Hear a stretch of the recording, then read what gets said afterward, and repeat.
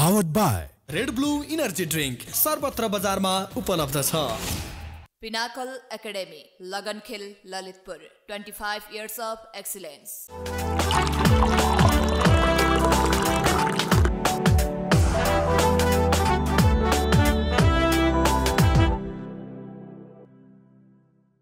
Hello नमस्ते and a very good morning everyone so yes आज पनि नयाँ दिन चिया गफ आइसकेको छ र चिया गफमा हामी विभिन्न सेक्टर विभिन्न फिल्डमा अ, विशेष त योगदान पुर्याउनुभएका होइन विशेष व्यक्तिहरूसँग हामी कुराकानी गर्नेछौँ र हामी स्टुडियोमा निम्त्याउने गर्दछौँ उहाँहरूलाई।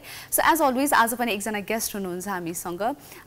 गेस्टको बारेमा थोरै अलि इन्ट्रो गर्न पर्दाखेरि उहाँ चाहिँ हिस्ट्रीसँग रिलेटेड कल्चरलोजिस्ट संस्कृतिविद हुनुहुन्छ उहाँ जस्तै चाहिँ यो फिल्डमा चाहिँ एकदम धेरै उहाँले वर्षहरूको योगदान दिइसक्नु भएको छ। यो फिल्डमा आबद्ध रहेर चाहिँ र आज चाहिँ उहाँसँग हामी धेरै हिस्ट्रीसँग रिलेटेड होइन कल्चरसँग रिलेटेड ट्रेडिसनसँग रिलेटेड धेरै नलेजहरू चाहिँ एक्सट्र्याक्ट गर्न खोज्नेछौँ बिकज हामीसँग वान आवरको लिमिटेड टाइम मात्र रहेको छ। सो धेरैभन्दा धेरै उहाँसँग चाहिँ नलेज एक्सट्र्याक्ट गर्ने हामी ट्राई गर्ने नै छौँ।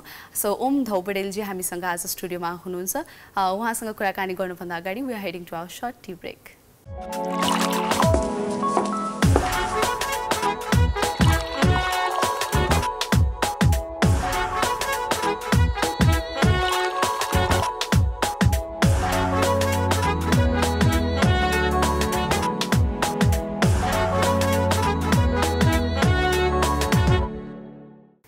yes welcome back after the short tea break र as you can see in the screen हामीसँग गेस्ट हुनुहुन्छ ओम धौबडेलजी नमस्कार स्वागत छ यहाँलाई कार्यक्रममा धन्यवाद सन्चै हुनुहुन्छ एकदमै ठिक छ हामी कार्यक्रमको सुरुवात चियाबाट गरौँ होइन चिया कतिको खानुहुन्छ हजुर चिया मेरो फेभरेट चिज हो मलाई यो कपले पुग्दैन म। थर्मसमै चिया राखेर खाने मान्छे म। हुन्छ हामीसँग यसमा यो. केटलको भरि छ हामी फेरि थप्दै कुराकानी गरौँ. है सो यहाँलाई चाहिँ धेरै धेरै स्वागत छ कार्यक्रममा। मैले चिया गफ चाहिँ स्टार्ट गरेको बेलामा चाहिँ मैले मम्मीलाई भनेको थिएँ घरमा होइन? अनि। त्यसपछि मम्मीले चाहिँ ओके ओम सरलाई चाहिँ लिनुपर्छ है. भनेर चाहिँ उहाँले मलाई सुरुमा प्रायोरिटीमा चाहिँ ओम सर राख्नुपर्छ है भनेर भन्नुभएको थियो। सो आई गेस आज मम्मी पनि टिभी हेरिराख्नु भएको छ होला। खुसी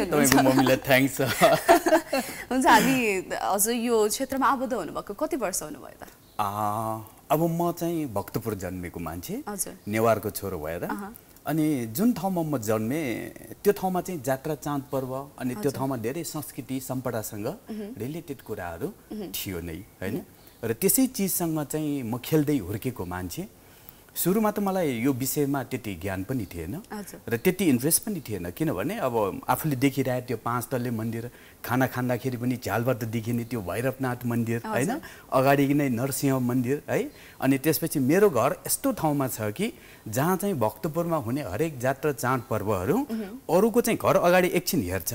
मेरो चाहिँ त्यो एकदम लामो डिस्टेन्सदेखि हेर्न पाइने के? है? अनि सबै चिजहरू वाच गर्ने।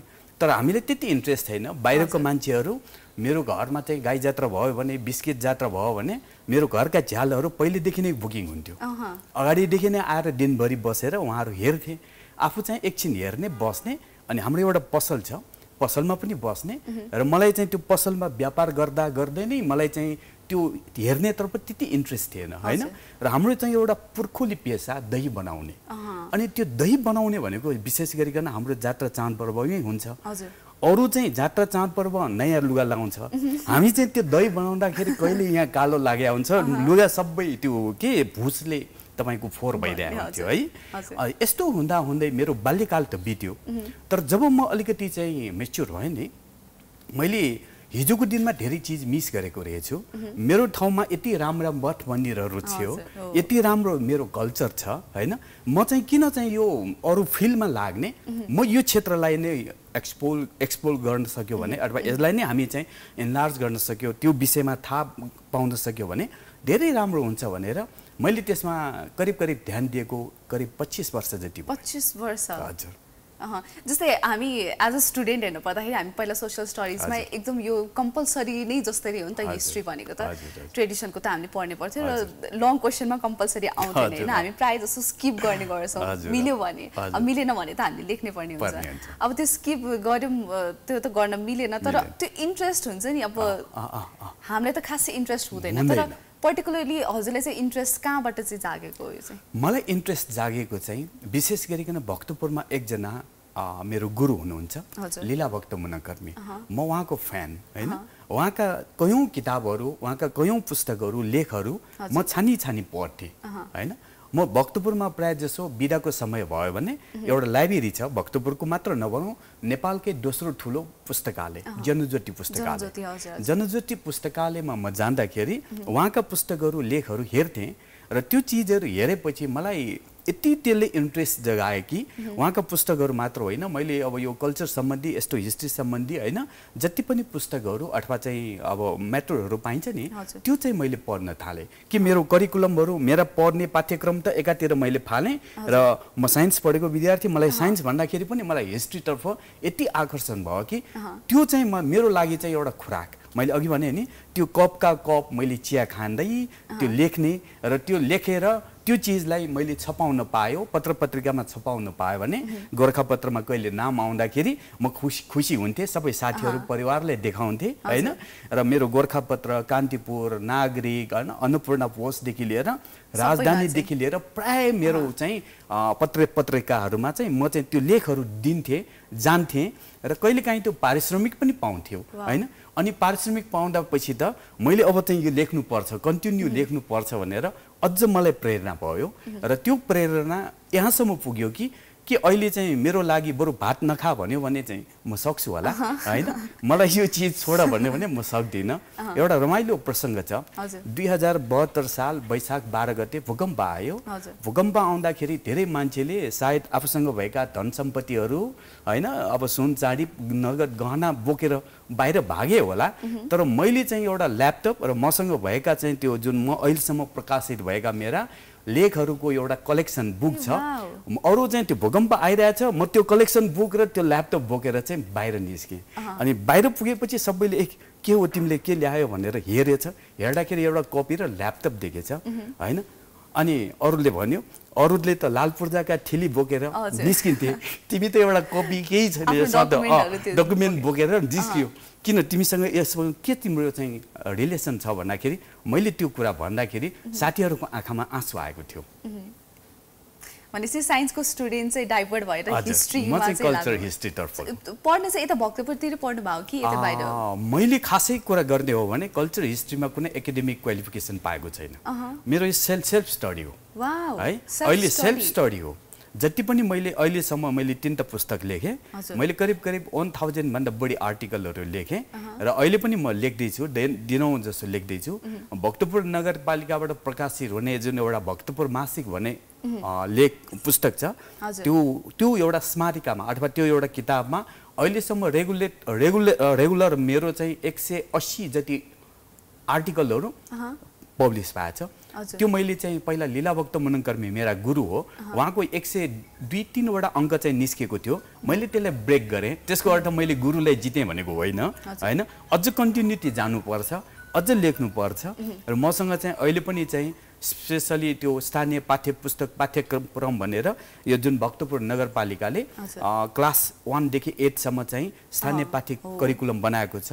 त्यसको लागि चाहिँ मिल्ने खालका करिब करिब मसँग चाहिँ आधा दर्जन जति निकाल्नु पर्ने पुस्तकहरू अझ पनि बाँकी छ। भनेपछि पेन्डिङमा रहेछ छ। ओ, ओके ल ठिक छ हामी फेरि पनि यहाँसँग कुराकानीको क्रम जोड्नेछौँ। अहिलेको लागि भने फर्स्ट क्लिपतर्फ लाग्छौँ then will be right back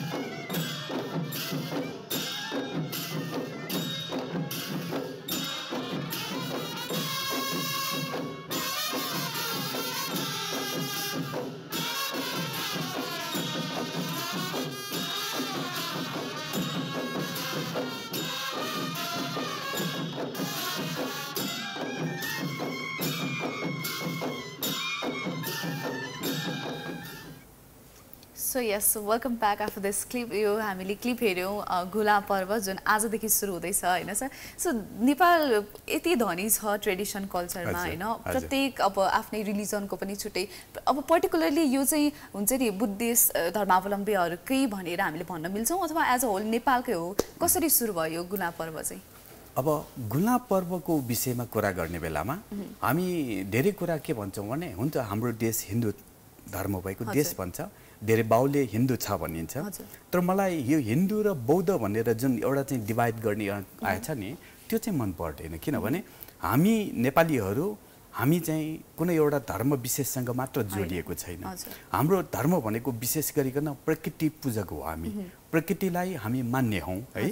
र त्यो प्रकृतिलाई मान्ने सन्दर्भमा हामी कहाँ चाहिँ देशले अब त्यो घाम भयो पानी भयो हावा भयो होइन? यस्ता जमिन भयो यस्ता सबै कुराहरूलाई देवताको रूपमा लिने हाम्रो चलन छ। त्यति मात्र होइन। हाम्रो हामीलाई अन्न दिने खेत पनि हाम्रो लागि भगवान् हो। हामी बस्ने हाम्रो घर पनि हाम्रो लागि भगवान् हो। खेतमा काम गरेर जुन किसिमले अन्न उब्जाउनुको लागि प्रयोग हुने औजारहरू त्यो लागि हाम्रो भगवान् हो। एकजना पसलेको लागि धक तराजु मानापाती उसको लागि उसको देवता हो। उसको चाहिँ पूजा गर्नुपर्ने वस्तु हो। एकजना कुमालेको लागि त्यो जुन चाहिँ चक चक्का घुमाउने छ त्यो उसले पूजा गर्ने उसको देवता हो। एकजना सिकर्मीले आफ्नो ज्यावललाई पूजा गर्छ एकजना दकर्मीले आफ्नो ज्यावललाई पूजा गर्छ। यस्तो किसिमको चाहिँ हामी कहाँ नारायण विष्णु मतलब चाहिँ यो महादेव यस्ता किसिमको देवता भन्दाखेरि पनि बढी हामी त्योभन्दा अगाडि नै हामीले यस्तो प्रकारको धर्म विकास गरिसकेको ठाउँ हो। अब आजबाट सुरु हुने गुलाको विषयमा पनि गुला बाजा भनेको आजबाट गुला महिना सुरु हुन्छ। है यो गुला थो अथवा गुला गा भने जुन महिना हो यो पन्ध्र दिन गुला थो हुन्छ पन्ध्र दिन गुला गा हुन्छ। टोटल एक महिना गुला महिना। हुन्छ। यो एक महिनाको गुलामा चाहिँ बजाउने एक महिनासम्म बजाउने बाजा।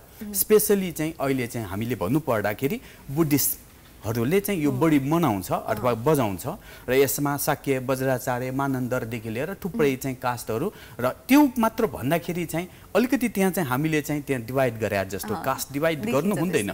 जस्तो भक्तपुरकै कुरा गर्दाखेरि भक्तपुरमा गुनाबाजा बजाउनेहरू थुप्रै कास्टका मानिसहरू त्यसमा सम्मिलित हुन्छ। त्यसमा चाहिँ मान्छेले चाहिँ त्यसमा चाहिँ सहभागिता जनाउने मानिसहरू सबै जात जाति मान्छे सभा सहभागी हुन सक्छ। तर एउटा कुरा के हो भने हो भक्तपुरमा जति पनि चाहिँ स्तूपाहरू छ चैते छ बिहार छ तिनीहरूलाई चाहिँ आदर गरेर त्यो ठाउँमा चाहिँ जाने र त्यो एउटा टिपिकल एउटा चाहिँ पार्ट्स हुन्छ त्यहाँ कहाँ कहाँ जाने भने एउटा रुट हुन्छ। त्यो रुट अनुसार चाहिँ यो गोलाबाजा प्रत्येक दिन चाहिँ तपाईँको चाहिँ नगर परिक्रमा गर्छ बिहारहरूमा स्पेसली है? र यो एक महिनासम्म चल्ने यो बाजा अथवा चाहिँ यो पर्व अहिले किन चल्यो? वास्तवमा चाहिँ त्यसको पछाडि पनि कारण छ। अब कारण भन्नु पर्दाखेरि अहिले पनि फेरि प्रकृतिकै कुरा हुन्छ होइन? हिजो अस्ति हामीले पानी धेरै परोस् पानी परेन भने हाम्रो सिनाजाहरू हुँदैन। कृषिका काम हुँदैन भनेर हामीले पानी माग्यौँ। र त्यो धेरै पानी पनि परिसक्यो। हाम्रो एक हिसाबले हो भने कृषिका काम पनि सम्पन्न भइसक्यो। है। लगभग सकियो। अब हामी फुर्सदको समयमा हामी चाहिँ के हो भने त हाम्रो बाजा गाजा अब निस्किनु पर्छ जसरी हिन्दू धर्मावलम्बीहरूले चाहिँ घण्टाकर्णको पर्वदेखि चाहिँ बाजा गाजाहरूलाई निकालेर फेरि चाहिँ बजायो नि। त्यस्तै गरिकन यो बुद्ध धर्मावलम्बीहरूले पनि यो गुला जुन चाहिँ यो पर्वको आजको सुरुवातको दिनबाट फेरि बाजाहरू निकालेर एक। महिनासम्म त्यसलाई चाहिँ अब कन्टिन्युटी दिँदाखेरि मान्छेमा चाहिँ हिजो बिर्सेको थियो नि। त्यो बाजाप्रतिको एउटा चाहना त्यो बाजाप्रतिको एउटा लगाव होइन?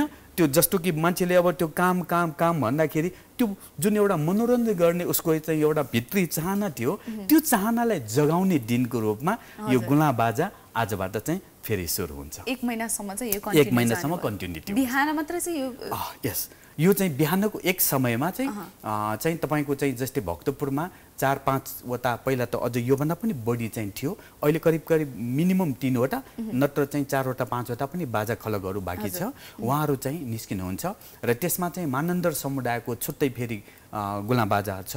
त्यसमा चाहिँ त्यो कनाट जस्तो चाहिँ त्यो सिङ बाजाहरू बजाउने सहितका होइन? र त्यो सबै कुराहरूलाई हामीले जोडेर हेर्दाखेरि यो गुला बाजा अथवा गुला महिनामा चाहिँ बजाउने बाजा भएर यसको नाम चाहिँ गुला बाजा भएको हो। So yes, we will be continuing the conversation with Ambro Om sir. Aurika Lagi we are heading to our very first commercial break.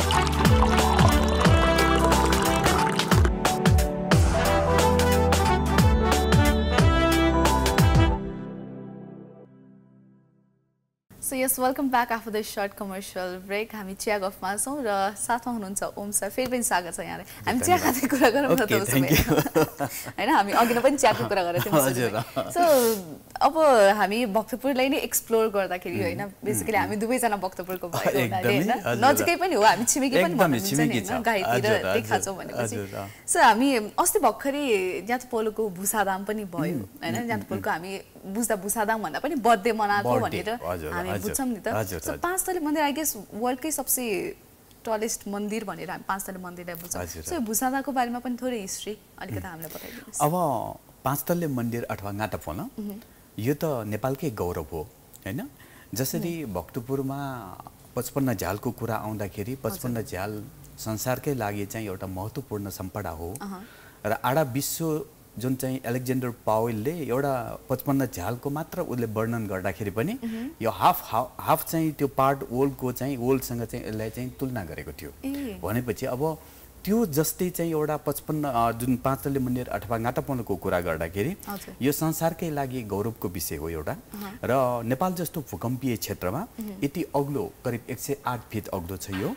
यो मन्दिर चाहिँ राजा भूपतिन्द्र मल्लले किन बनाउन लगायो होला? एउटा प्रश्न यो होइन? दोस्रो चाहिँ त्यो जुन तौमडी भन्ने एरिया छ। त्यो एरियामै किन बनाउन लगायो। है यो दुईवटा प्रश्न। अनि अर्को एउटा चाहिँ के हो भने जुन चाहिँ यो पाँच तल्ले मन्दिर छ यो पाँच तल्ले मन्दिर एकदम सर्ट टाइममा भनिन्छ नि सिक्स मन्थ मात्र छ महिनाभित्र। यो मन्दिर चाहिँ बनियो। है? र त्यो एउटा सबै कुराहरूलाई चाहिँ डकुमेन्टेसन गरेर एउटा चाहिँ राजा भूपतिन्द्र मल्लले आजभन्दा तिन सय बिस वर्ष अगाडि नै एउटा पुस्तक त्यति बेलाको त्यो सबै लिपिबद्ध गरेको छ डकुमेन्टेसन गरेको। अब त्यसैको आधारमा यो यो मन्दिर अहिले हामी के गर्छौँ भने हामी एउटा घर बनाउँदाखेरि नक्सा बनाएर घर बनाउँछौँ नि। आजभन्दा तिन सय बिस वर्ष अगाडि पाँच तल्ली मन्दिर बनाउँदाखेरि राजाले चाहिँ पहिला नक्सा बनाउन लगाएको। भनेपछि सायद चाहिँ नक्सा बनाएर बनाएको पहिलो मन्दिर पनि पहिलो सम्पदा पनि गातापोलो। हो अहँ, अहिलेसम्मको हाम्रो रेकर्ड अनुसार त्यो हुनुपर्छ है। त्यो आधारमा चाहिँ यसले धेरै कुरामा चाहिँ वर्ल्ड रेकर्ड राख्छ अथवा गिनिज बुकमै नाम राख्न सक्छ हो। र त्यो कुरालाई अहिलेसम्म पनि चाहिँ एउटा कन्टिन्युटी दिने क्रममा प्रत्येक वर्ष आषाढ शुक्ल प्रतिपदाको दिनमा यो गातापल्लको चाहिँ बर्थडे अथवा भुसाडान मनाएको हुन्छ है? त्यो भुसाडान भन्ने शब्द कहाँबाट आएको भने यो वर्ष बन्धन भन्ने शब्दबाट आएको। यो। वर्ष बन्धन यो चाहिँ संस्कृत शब्द हो है? तर त्यो वर्ष बन्धन भन्ने संस्कृत शब्दलाई हामी नेवारी हो नि त। हामी रामकृष्णलाई होइन? अब रामकुमारलाई रामकुवा भन्दै भन्दै है त्यसरी चाहिँ हाम्रो चाहिँ शब्दहरू चाहिँ एकदम फास्ट हुँदै आउँदाखेरि वर्ष बन्धन त पछि गएर भुसाडाम भएछ होइन त। है? अब यो भुसाडा चाहिँ अहिले पनि हामी मनाउँछौँ र यो भुसाडा प्रत्येक वर्ष आषाढ शुक्ल प्रतिपदाको दिनमा गर्छ र गर्ने बेलामा चाहिँ यो मन्दिर बनाउने जुन चाहिँ त्यति बेलाका व्यक्तिहरू त्यति बेलाका अवालहरू विशेष गरिकन अवालहरूको धेरै ठुलो भूमिका थियो। उहाँहरूले चाहिँ यो मन्दिरको छाना यति राम्रो शैलीमा बनाएको छ कि। यो मन्दिरलाई चाहिँ एकजना युवतीसँग चाहिँ तुलना गर्न सकिन्छ। होइन? उसको चाहिँ जिउ उसको त्यो जुन तलको पार्ट अलिकति फ्ल्याट छ होइन छ, बढी छ। अनि बिचमा गएर चाहिँ यो एकदमै चाहिँ न्यारो छ होइन? फेरि बिस्तारै बढ्दै होइन। तपाईँको चाहिँ फेरि टाउको चाहिँ सानो भए जस्तो है। त्यसरी अब कति भन्छ नि एउटा नाप लेडिजहरूको नाप भन्छ नि त्यस्तै। खालको छ है? ए भनेपछि एउटा फिमेलसँग चाहिँ ज्यादाले कम्पेयर तुलना गर्न सकिन्छ। यो यति राम्रो हुनुको पछाडि यसका चाहिँ जुन पेटीहरू के सरी यसका छानाहरू छ नि। यो छाना र पेटीको चाहिँ समानान्तर जुन एउटा चाहिँ त्यो रेखामा चाहिँ यो मन्दिर बनेको छ जस्तो एउटा चाहिँ त्यो कर्नरबाट गजुरसम्म सिक्सटी डिग्री अ, चारै तर्फबाट सिक्सटी डिग्रीको चाहिँ त्यो जुन एङ्गलमा मन्दिर बनेको छ त्यो मन्दिरलाई चाहिँ हामी बाहिरबाट हेर्दाखेरि हुन त काठमाडौँमा पनि पाँचतले मन्दिर छ पाटनमा पनि छ। तर काठमाडौँ र पाटनको भन्दा हामी भक्तपुर भएर भनिरहेको होइन। है। अहँ, होइन, भक्तपुरको गातापूर्ण हेर्दाखेरि नै चिटिक्क परेको छ। र त्यो मन्दिर चिटिक्क बनाउनको लागि योगदान गर्ने जुन अवालहरू हुनुहुन्छ। उहाँहरूलाई अहिले पनि त्यो मन्दिरको भुसाडानको दिनमा मन्दिरको माथि गएर मन्दिरमा भएका घाँस पातहरू सबै उखेल्ने कतै झिङ्गटीहरू बिग्रेको छ भने बनाउने अनि त्यसपछि त्यसमा एउटा झन्डा झन्डोत्तोलन गर्नुपर्छ। त्यो झन्डोत्तोलन गर्ने काम पनि उहाँहरूबाट हुन्छ। है? र यो चाहिँ प्रत्येक वर्ष अझ त्यहाँबाट लड्डु पनि गुडाउनु पर्छ। यो छानाबाट लड्डु गुडाउनु पर्छ। घरमा घर गरे जस्तो घर। पूजा गरे जस्तो। त्यो लड्डु गुडाउनु पनि खानको लागि मात्र होइन। त्यो लड्डु चाहिँ तल खस्ने बेलामा खान्छु भनेर बस्ने मान्छे त हुन्छ नै। तर त्यो लड्डु गुडाउनको अर्थ भने त्यो छानाको स्लोप मिलेको छ कि छैन? ए चेक गर्नको लागि। चेक गरेको त्यो। ए भनेपछि त्यो लड्डु गुड्यो भने चाहिँ लड्डु। सर गुम्यो गुड्यो भने त्यो छानामा पानी अट्दैन छानाको स्लोप मिल्यो। होइन? र लड्डु चाहिँ बिचमा त्यो अड्किँदै गयो भने ए यो छाना चाहिँ मिल्या छैन। स्लोप चाहिँ मिलेको स्लोप मिल्या छैन। है। यस्तो किसिमको त्यो एउटा मेजरमेन्टको लागि त्यो लड्डु गुडाएको हो। तर अहिले मान्छेलाई कस्तो भने त्यो तपाईँको मच्छिन्द्रनाथको त्यो जुन रडबाट अथवा रडबाट नरिवल खसाल्दाखेरि त्यो नरिवल टिप्छु भनेर बस्या जस्तो त्यो लड्डु पनि टिप्छु भनेर बस्या त हुन्छ। तर त्यो जुन बनाउने मानिस छ ऊ कालीगढ छ। कालीगढले चाहिँ त्यो मन्दिरको स्लोप चेक गरेको हो। है? यस्तो किसिमको हाम्रो एउटा हाम्रा पुर्खाहरूले हाम्रा पूर्वजहरूले। यति राम्रा कुराहरूको चाहिँ तपाईँको चाहिँ त्यो जुन हरेक कल्चर हरेक हरेक संस्कृतिसँग जोडिएका पार्ट्सहरू जुन हाम्रो विज्ञानसँग जोडिएको कुरा हो यो। सिपसँग जोडिएको कुरा औजारहरू थिएन। तर उनीहरूले त्यो लड्डु गुडाएर त्यसको मेजरमेन्ट गरेर त्यस किसिमको पानीको स्लोपहरू निकाल्ने जुन चलन गरेको छ। अब एउटा अहिले दुःखको कुरा तपाईँको कङ्क्रिटको घर बनाएको हुन्छ जहाँ छाना नै हुँदैन तर पनि लड्डु गुडाउँछ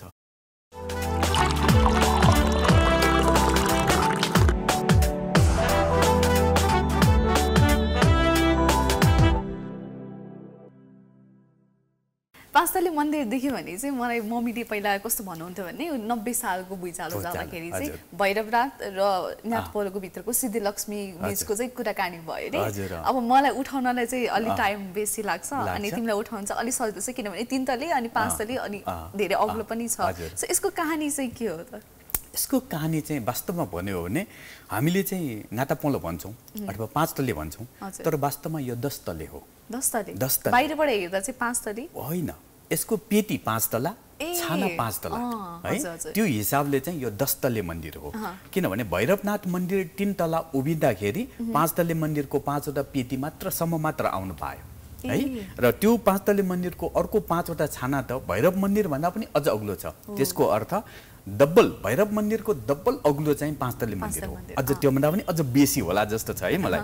अब यो किनभने यो दुईटा मन्दिरको बिचमा एउटा रमाइलो कहानी छ। त्यो रमाइलो कहानी के हो भने वास्तवमा चाहिँ भैरव भनेको हाम्रा अजाजु देवता हाम्रो चाहिँ पुर्खा देवता भैरव भनेको। त्यो भनेको वास्तवमा मान्छे नै हो भैरव भनेको है। त्यो भैरव चाहिँ मानिसको रूप लिएर त्यो पाँच तले मन्दिर तौमडीको वरिपरि चाहिँ घुम्ने मानिसहरूलाई त्यसले मानिसको रूप लिएर दुःख दिन थाल्यो अरे। धेरै दुःख दिने। कसैले पछाडि गएर तान्ने कपाल चुल्ठो तानिदिने कसैले गालामा प्यात्त पिटिदिने होइन? भैरवले त्यहाँ धेरै दुःख दिएपछि अब यो भैरवलाई कसरी शान्त गर्ने भनेर राधालाई धेरै चिन्ता परेछ। राधाले एकजना ज्योतिषलाई देखाएछ। ज्योतिषले के भनेछ भने यो भैरव भन्दा पनि अग्लो भागमा चाहिँ सिद्धिलक्ष्मी देवी राखिदियो भने सिद्धिलक्ष्मी देवीको कारणले गर्दाखेरि भैरव शान्त हुन्छ। भन्ने चाहिँ एउटा आधारमा अहिले पनि त्यो पाँच तले मन्दिरभित्र सबभन्दा तल चाहिँ बेताल लेटेको छ। बेताल भनेको भैरवको बाँध हो है? अनि त्यसको माथि चाहिँ भैरव बसेको छ। अनि भैरवको हातमा चाहिँ सिद्धिलक्ष्मी अठारवटा हात है? छवटा हात बाह्रवटा सरी छवटा टाउको बाह्रवटा हात भएको सिद्धिलक्ष्मी चाहिँ उभिएको छ है? र त्यो सिद्धिलक्ष्मी चाहिँ उग्र सिद्धिलक्ष्मी हो। त्यो। एकदमै चाहिँ तपाईँको भैरव भन्दा पनि अझ रिसा है? त्यस हिसाबले चाहिँ अहिले पनि घरमा हेर्नुहोस् त यदि कसैको हस्बेन्ड भन्दा वाइफ चाहिँ अलिकति एङ्गर छ भने हस्बेन्डहरू शान्त हुन्छ नि है त्यस्तै गरिकन त्यो एङ्गर चाहिँ भैरवलाई चाहिँ शान्त गर्नको लागि चाहिँ। सिद्धिलक्ष्मीले धेरै ठुलो भूमिका खेलेको हुँदा त्यो सिद्धिलक्ष्मी भैरवको मन्दिर भन्दा सिद्धिलक्ष्मीको गाटापोला मन्दिर चाहिँ अग्लो बनाएको। भनेपछि अब भैरव त केटा केटा। भएपछि केटालाई शान्त पार्ने शान्त पार्नको केटी चाहिँ। होइन? केटीले चाहिँ त्यो तपाईँको भूमिका खेलेको। है? त्यही आधारमा त्यहाँ त्यहाँभित्रको चाहिँ जुन चाहिँ त्यो मूर्ति छ नि। त्यो मूर्ति हेर्ने बेला तपाईँ भित्र जानुभएको छ कि छैन है? एकदम रमाइलो मूर्ति छ। भित्र अरूमा चाहिँ बेताल। चाहिँ आरामले बसेको हुन्छ है? अनि त्यसको माथि भैरव बसेको हुन्छ। तर त्यो पाँच तले मन्दिरभित्र बेतालको माथि भैरव त बसेको छ। अनि त्यो भैरवको माथि पनि चाहिँ तपाईँको सिद्धिलक्ष्मी बसेको भएको र त्यो बेतालले चाहिँ भैरवलाई चाहिँ जिस्काइराखेको हाँसेर जिस्काइराखेको एउटा मूर्ति अभिनय यति राम्रो यति सजीव छ कि। हेर्नु त तपाईँ यति तपाईँ चाहिँ एङ्गर भएर पनि तपाईँलाई चाहिँ सिद्धिलक्ष्मीले चाहिँ तपाईँलाई चाहिँ तपाईँको चाहिँ डाउनमा तपाईँलाई डाउनमा डाउन गर्यो भनेर।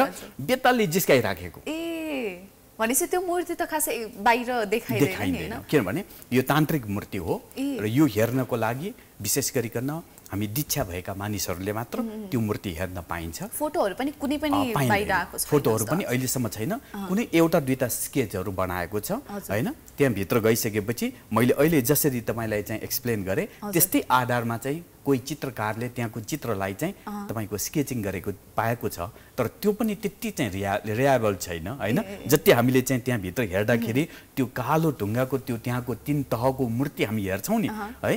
त्यो त सजीव छ। सो कस्तो इन्ट्रेस्टिङ छ क्या हरेक कुराको आफ्नै आफ्नै मिनिङ छ साइन्टिफिक रिजन पनि छ। सो हुन्छ हामी फेरि पनि कुराकानीको क्रमलाई जोड्ने नै छौँ। अहिलेको लागि हामी फेरि सर्ट कमर्सियल ब्रेकतर्फ लाग्छौँ।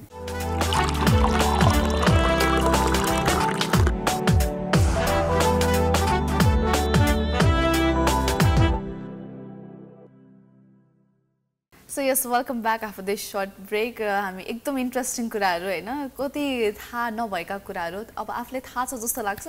तर ए यो यसको लजिक त यो रहेछ साइन्टिफिक रिजन त यो रहेछ भनेर चाहिँ आज मैले धेरै कुरा सिक्दैछु हजुरबाट होइन?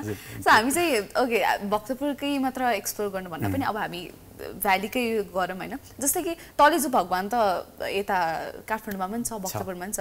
डिफ्रेन्स मतलब यसको केही डिफ्रेन्स छ अथवा एउटै भगवान् चाहिँ तलेजु भगवान् भनेर चाहिँ सारिएको भनेर भन्छौँ नि त हामी। अब यता नभएर चाहिँ उता सारिएको भनेर भन्छ। त्यस्तो छ अथवा डिफ्रेन्ट भगवान् नै हो यो चाहिँ? यसमा चाहिँ एउटा इन्ट्रेस्टिङ विषय के छ भने।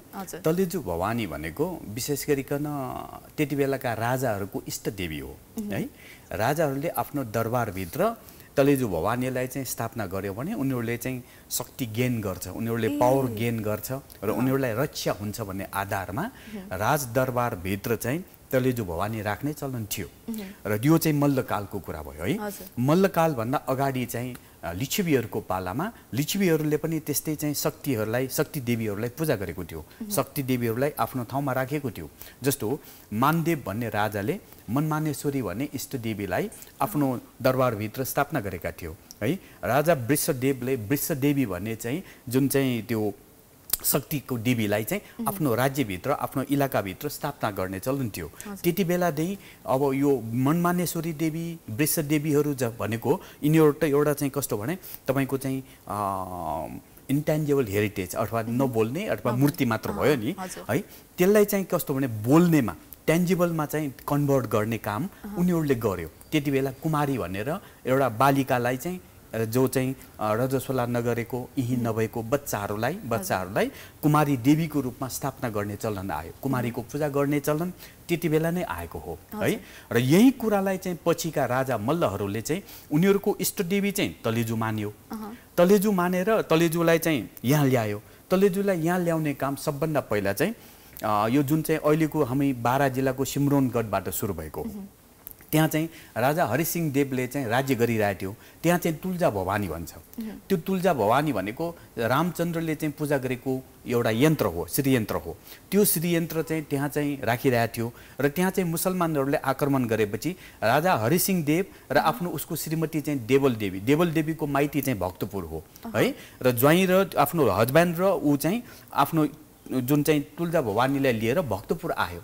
भक्तपुर आएपछि भक्तपुर दरबारभित्र त्यसलाई स्थापना गर्यो। स्थापना गरेपछि यहाँ उसका भाइ रुद्रदेवले राज्य गरिरहेको थियो अनि उसले चाहिँ रुद्र मल्ल रे रु सरी रुद्र मल्लले राज्य गरिरहेको थियो रुद्र मल्लले त्यसैलाई चाहिँ एउटा चाहिँ आफ्नो इष्ट देवता मानेर पूजा गरेपछि यो चाहिँ भक्तपुरबाट सुरु भएको। सबभन्दा बढी चाहिँ हामी यसमा जोड दिनुपर्छ कि तुल्जा भवानी तपाईँले भने जस्तो तलेजु भवानी भक्तपुरमा पनि छ काठमाडौँमा पनि छ पाटनमा पनि छ होइन? अझ तपाईँले जानुहोस् नेपाल मण्डलमा त्यति बेला सानो ठुलो जति पनि राज्यहरू छ नि सबै ठाउँमा तुल्जा भवानी तलेजु भवानी छ। तपाईँ थिमीमा जानुहोस् पनौटी जानुहोस् बोडे जानुहोस् होइन? फर्पिङ जानुहोस् है? तपाईँ यो जति पनि हाम्रा सुनाकोटी बलम्बुदेखि लिएर जति पनि हाम्रा नेवार। कम्युनिटीभित्रको एउटा सानो ठुलो राज्य भन्छौँ नि हामी। त्यति बेलाका राज्य अथवा गाउँ ठाउँ त्यो सबै ठाउँमा चाहिँ तुल्जा भवानी अथवा तलेजु भवानी छ। तपाईँको यहाँ मात्र होइन टिबोटसम्म पनि छ। टिबोटको? भाखोर भन्ने ठाउँमा पनि तुल्जा भवानी अथवा तलेजु भवानी छ। यो चाहिँ कसरी लगेको त हो? यो सबै अँ यो सबैमा चाहिँ मेन चाहिँ तलेजु भवानी भनेको भक्तपुरकै हो। है? भक्तपुरमा। भक्तपुरमा। भक्तपुरमा जुन तुल्जा भवानी अथवा तलेजु भवानी छ त्यो नै मेन हो। अनि ओ भक्तपुरबाट चाहिँ पछि चाहिँ के हो भने पहिला नेपाल मण्डलको राजधानी भक्तपुर थियो। होइन? तर पछि चाहिँ भक्तपुरबाट कान्तिपुर छुट्यो कान्तिपुरबाट ललितपुर छुट्यो यसरी छुट्दै छुट्दै धेरै राज्य बन्दाखेरि त्यो त्यहाँ बनेका साना साना राजाहरूले अरू साना साना राज्यका राजाहरूले पनि। त्यो भक्तपुरकै अनुसरण गरेर कपी गरेर आफ्नो दरबारभित्र तुल्जा भवानी अथवा तलेजु भवानी स्थापना गरे। मिलो मिलोस् भनेर। है यसको सुरुवात चाहिँ सबभन्दा पहिला कान्तिपुरको राजा रत्नमल्लले गरेको। रत्नमल्लले आफ्नो दाजु छन्दा छन्दै भक्तपुरको मेन तुल्जा भवानी छन्दा छन्दै कान्तिपुर राज्य स्थापना गर्दाखेरि रत्नमल्लले चाहिँ काठमाडौँमा चाहिँ तुल्जा भवानी स्थापना गर्यो। त्यसैको सिको गरेर उसका चाहिँ उसैको चाहिँ भतिजा सिद्धि नरसिंह मल्लले पाटन राज्य स्थापना गरेपछि पाटनमा पनि तलेजु भवानी लग्यो। यस्तो हिसाबले चाहिँ तलेजु भवानी फैलिएको हो। तर एउटा कुरा मेन कुरा चाहिँ भक्तपुरको चाहिँ तुल्जा भवानी मेन तुल्जा भवानी हो। अनि यो अब कुमारीको कुरा जुन अगाडि आयो होइन हजुर। कुमारीलाई पनि अब त्यो मेन्सुरेसन नभएकोलाई मतलब लिने भनेर चाहिँ त्यो चाहिँ कहाँबाट सुरु भयो? मतलब यो मल्लकालीनदेखि नै अथवा लिच्छवीकालीनदेखि यो चाहिँ लिच्छवीकालीनदेखि नै। कुमारी भनेको जस्तो कि एक हिसाबले भन्ने हो भने दाँत नजरेको जिउमा कुनै खोट नलागेको रजस्वला मिन्सुरेस नभएको होइन? तपाईँको चाहिँ यी नगरेको दाँतै झर्नु हुँदैन हेर्नुहोस् त। एउटा दाँत मात्र झऱ्यो भने पनि कुमारी बन्न पाइँदैन। है यस हिसाबले चाहिँ तपाईँको कुमारीहरू कुमारी राख्ने चलन चाहिँ जुन चाहिँ यो लिच्छवीहरूको पालादेखि सुरु भयो। जति बेला हामी कहाँ चाहिँ शक्तिको पूजा गर्ने परम्परा आयो। होइन? जुन यो तोल्जा भवानी मनमानेश्वरी वृषदेवी भनेको शक्तिका पूजा दे पूजा गर्ने देवीहरू हो। तिनीहरूलाई स्थापना गरेपछि नै कुमारीको पनि त्यो सँगै प्रादुर्भाव भयो र कुमारीको चलन अहिले पनि अहिले त हाम्रो घर घरमा कुमारी पूजा गर्नुपर्छ। नवमीको दिनमा हामी हाम्रो घरमा पनि कोही सानी बच्चीहरू छ भने कुमारीको पूजा गर्छौँ होइन? यही। नगरेको बच्चाहरूलाई।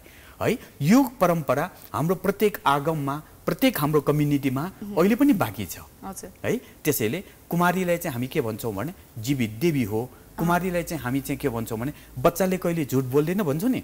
बच्चा भनेको देवता हो। उसले सधैँ सत्य कुरा बोल्छ। किनभने उसले चाहिँ जे कुरा देखेको छ त्यो कुरा बोल्छ।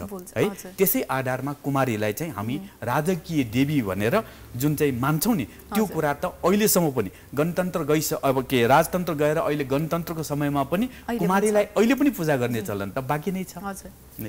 सो कति धेरै इन्ट्रेस्टिङ कुराहरू रहेछ होइन तलेजु भगवान्को पनि। सो हुन्छ हामी अब अहिले चाहिँ गाई जात्रा पनि सुरु हुन लागेको छ। लगभग दुई हप्ता पनि बाँकी छैन सो त्यहीसँग रिलेटेड एउटा क्लिप छ हामीसँग पहिला त्यो क्लिप हेर्छौँ अनि त्यसबारे हामी थप कुराकानी गर्नेछौँ।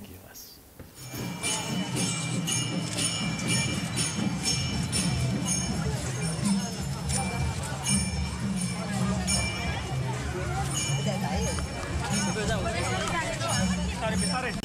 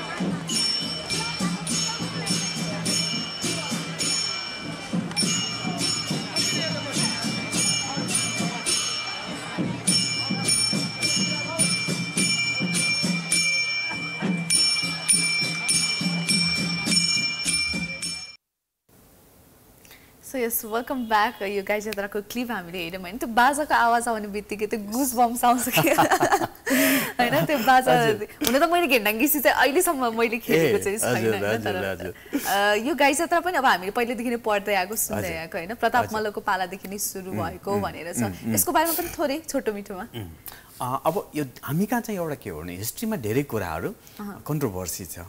धेरै कुराहरू मिलाउनु पर्ने बाँकी छ। र अहिले पनि हामीले चाहिँ यही कुरा अहिले भर्खर तपाईँले भनेको जुन गाई जात्रा शब्दबाटै नै जाउँ। गाई जात्रा भनेर हामी जुन भन्छौँ त्यो शब्दमै हामीले चाहिँ मिलाउनु पर्ने छ। त्यहाँ नै हामीले चाहिँ यदि त्यहाँ चाहिँ तपाईँको चाहिँ गाई जात्रा भनेको वास्तवमा चाहिँ के हो भने वर्षभरिमा दिवंगत मानिसहरूको सम्झनामा मनाउने एउटा चाहिँ पर्व। त्यो पर्व कहिले पनि जात्रा हुन सक्दैन।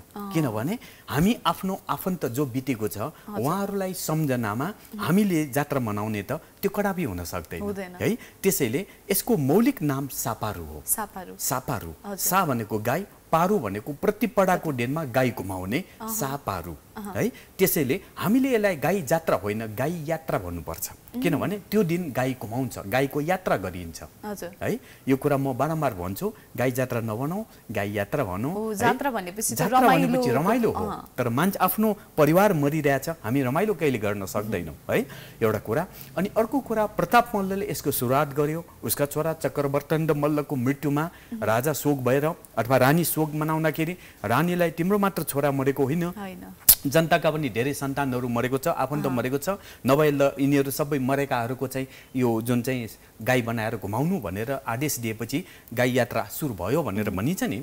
यो कुरामा चाहिँ अलिकति हामी चाहिँ त्यहाँ डिबेट गर्नुपर्ने अवस्था छ। किनभने प्रताप मल्लको समय भनेको नेपाल सम्मत सात सय त्रियानब्बेतिरको समय हो। चक्रवर्तेन्द्र मल्लको मृत्यु चाहिँ त्यस्तै सात सय बयासीतिर भएको हो है? सात सय एकासी बयासीतिर भएको हो। यो भनेको करिब करिब पाँच सय वर्ष पनि भएको छैन। छैन। चार सय वर्षको कुरा हो। तर गाई यात्रा अथवा सापारुको उल्लेख नेपालकै एउटा मौलिक एउटा चाहिँ एउटा चाहिँ दस्तावेज भनिन्छ गोपाल राजवंशावली। गोपाल राजवंशावलीमा सापारुको विषयमा उल्लेख छ। र सापारु भनेर उल्लेख भएको जुन गोपाल राजवंशावली छ त्यो भनेको नेपाल सम्बत पाँच सय चान्चुनमा लेखेको करिब करिब सात सय वर्ष पुरानो हो। त्यसैले सात सय वर्ष अगाडि नै गोपाल राजवंशावलीमा उल्लेख भएका कुरालाई प्रताप मल्लले पछि आएर सुरु गर्यो भन्नु भन्नु त अलिकति चाहिँ हाम्रो अध्ययनको कमी हो कि? मलाई लाग्ने है त्यसैले यो नेवारहरूले विशेष गरिकन आफ्ना दिवंगतहरूको नाममा जुन यो पर्व मनाएको छ यो मृत्यु संस्कारसँग जोडिएको पर्व हो। नेवारहरूले सोह्र संस्कार मनाउँछ। सोह्र संस्कारहरूमध्ये जन्म संस्कार विवाह संस्कार व्रतबन्ध संस्कार थुप्रै नाम संस्कार जस्ता थुप्रै संस्कार छ। त्यसमा मृत्यु संस्कार भनेको सबैमा मृत्युदेखि चाहिँ जो पनि डराउँछ। है? हामी कहाँ एउटा हिन्दू धर्ममा त अझ के छ भने मान्छे मरेपछि त्यसलाई राम्रोसँग सद्गति भएन भने त्यो भूत प्रेत भएर जन्म लिएर हामीलाई दुःख दिन्छ। त्यसैले जो मान्छे बितेपछि बरु तपाईँको जीवन जीवन्त हुँदाखेरि जिउँदो हुँदाखेरि आफ्नो आमा बाउलाई नखुवाउला है? मरेपछि चाहिँ त्यो आमा बाबुको नाममा पुरोहितलाई दान कति गर्छ हेर्नुहोस् त। त्यो दान गर्नु त्यो सबै काम गर्नु भनेको त्यो जो व्यक्ति बितेको छ त्यो चाहिँ भूत प्रेत भएर दुःख नदियोस् भनेर। है? त्यस्तो अवस्थामा आजभन्दा हजारौँ वर्ष पहिले हाम्रा पुर्खाहरूले मृत्यु संस्कारलाई यति राम्रोसँग कि कि मानिस मरेपछि चाहिँ एघारौँ दिनमा वृक्ष सर्ग भन्ने एउटा क्रिया गर्नुपर्छ। त्यो भनेको साह्रै खर्चिलो। जुन मरेको मानिसको नाममा जिउँदो साँधे दान दिनुपर्ने। है त्यो जिउँदो साँधे दान दिँदाखेरि त्यो साँधेहरू त व्यवहारिस हुन्छ त्यो व्यवहारिस साँधेहरू खेतमा गएर अन्न खाइदिन्छ। त्यसले गर्दाखेरि धेरै नै अप्ठ्यारो भयो भनेर त्यो मरेको जुन चाहिँ सरी जिउँदो साँधेको ठाउँमा माताका साँधेहरू चढाएर चढाउने चलन पनि आयो। है तर त्यसको लागि पनि आफ्नो अरूको ठाउँमा पब्लिक ठाउँमा गर्न पाइँदैन। आफ्नै खेतमा चाहिँ त्यो दान दिनुपर्ने। त्यो पनि खर्चिलो भयो। भएपछि अब के गर्ने त? भनेपछि वर्षको एकचोटि यो जुन चाहिँ यो भाद्र शुक्ल प्रतिपदाको दिनमा यो गाई बनाएर गाईलाई चाहिँ नगर घुमायो भने वृक्ष सर्ग गरेकै सरह हो भनेर धर्मशास्त्रले त्यसमा उदारपन ल्याएर यो जुन चाहिँ गाई यात्रा अथवा चाहिँ यो सापारु पर्वको प्रचलन सुरु भएको हो है। तर यो चाहिँ के हो भने मूलत मृत्यु संस्कारसँग सम्बन्धित भएको र मरेका मानिसको मात्र चाहिँ यहाँ चाहिँ एउटा तपाईँको चाहिँ यात्रा गर्यो भने मान्छेलाई कस्तो चोट पर्ला? हेर्नुहोस् त ओहो फलानु पनि मर्यो फलानु पनि मर्यो यो पनि मर्यो भनेर मान्छे मरेको मानिसहरूको सम्झनामा हामी त कस्तो हुन्छ भने पागलै हुन्छ मान्छेलाई बैरागी चल्छ। हाम्रो जीवन त यसरी मर्ने रहेछ। यो मैले धन सम्पत्ति कमाएर के गर्ने? मैले मोज मस्ती गरेर के गर्ने भनेर मान्छे बैरागी हुन्छ भनेर मान्छेको ध्यान तपाईँले अघि भने जस्तो त्यो घ्यान्ताङ गिसी ट्वाङ भनेर जुन आवाज आउँछ नि तपाईँलाई पनि नाच्नु नाच्नु लाग्यो मलाई पनि नाच्नु नाच्नु। लाग्यो है त्यो? भुलाउनको लागि म्युजिक र प्लस त्यसमा डान्स त्यो डान्स पनि कस्तो भने फ्री स्टाइल डान्स। जो पनि नाच्न सक्ने। एकजना बच्चादेखि लिएर बुढाबुढी पनि जुरुक्क जुरुक्क उफ्रिन सक्ने जुन एउटा म्युजिक छ त्यो म्युजिकसँगको डान्स ज जुन छ त्यसले गर्दाखेरि त्यो मरेका मानिसहरूको जुन चाहिँ सम्झनालाई पनि हामीले भुलाएर हामी चाहिँ डान्समा व्यक्त भयौँ भने त्यो जतिको ठुलो सङ्गीतको यो म्युजिकको पावर के हुन सक्छ? हजुर पक्कै पनि एकदमै कम्बिनेसन चाहिँ एकदम राम्रो रहेछ होइन। सो यहाँसम्म आइदिनु भयो हजुरको व्यस्तताको बावजुद पनि होइन? आफ्नो वेल विशर्सहरूलाई केही तपाईँ सन्देश दिन चाहनुहुन्छ पनि प्लिज? मलाई म के भन्न चाहन्छु भने नेपाल जस्तो देश हामीका धेरै जनजातिहरू भएको देश। धेरै संस्कृति र सम्पदाहरूले भरिएको देश प्रत्येकले आफ्नो संस्कृति र सम्पदालाई माया गर्ने बानी बसालौँ। म त्यति भन्न चाहन्छु। हस् थ्याङ्क यू सो मच यहाँसम्म। आइदिनु भएकोमा so yes thank you so very much guys for watching Chiya Guff र चिया गफमा आज हामीले धेरै इन्ट्रेस्टिङ कुराहरू गऱ्यौँ। आई होप यहाँलाई पनि रमाइलो नै लाग्यो होला। सो यस भोलि पनि हामी फेरि नयाँ गेस्ट र नयाँ होस्टको साथमा उपस्थित हुने नै छौँ। Until then have a great Friday ahead goodbye